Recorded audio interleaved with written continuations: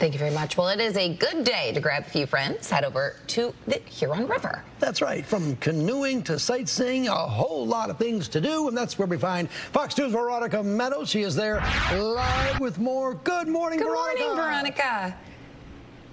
Hey guys, good morning to you as well. We have a great assignment this morning. You can see the canoes and kayaks are all around us. We made our way to Milford for Heavner's Canoe and Kayak Rental. Pam, good morning. You are with us this morning. Good morning. Give us kind of a rundown of the Huron River. Yeah, so the Huron River is right here in southeast Michigan.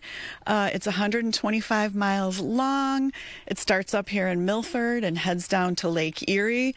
And it's just a really wonderful opportunity for families to get out and enjoy enjoy nature and do some paddling and have some fun. It's a very impressive river. How many counties does it go through? Uh, there are seven counties here. Uh, let's see, you're putting me to my test. We could just stay with seven counties. I won't make you go into too many of the specifics, but really, when you think about you know the scope of the river, uh, it's also a great spot for local businesses like Heavner's here too. That's right. Yes, we're so happy to be up here at Heavner's this morning.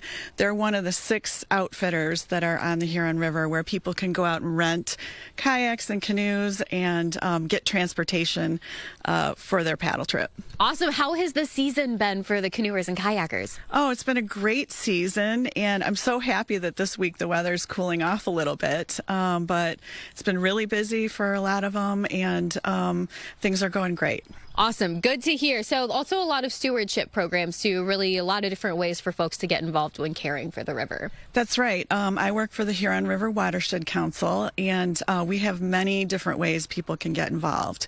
We do a lot of river monitoring. Uh, we teach people how to get out and do cleanups, how to take care of their storm drains.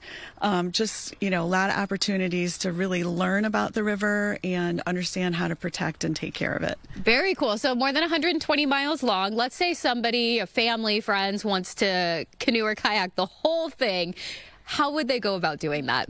Well, we have a special program called the Huron 104 uh, because the paddle part is about 104 miles long. Um, they can come to our website, HuronRiverWaterTrail.org, and learn all about the different sections of the river. And um, there are a couple ways to tackle it. You can paddle through. Uh, takes about five days, and there's some opportunities to camp along the way. Or uh, we have many people who do it section by section and cover the entire river over a summer.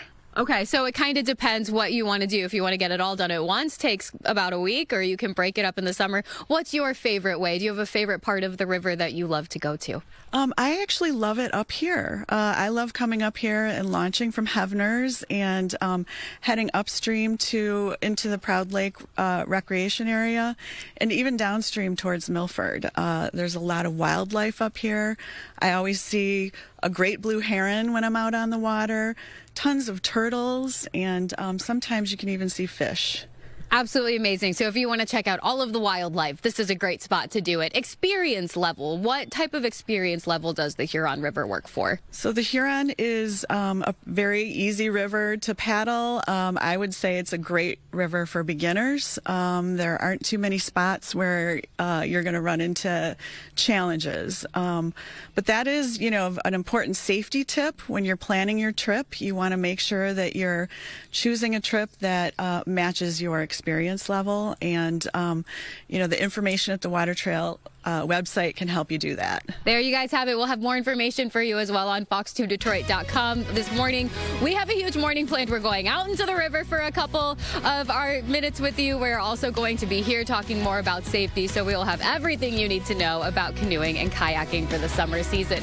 For now, from Milford, we'll send it back to you.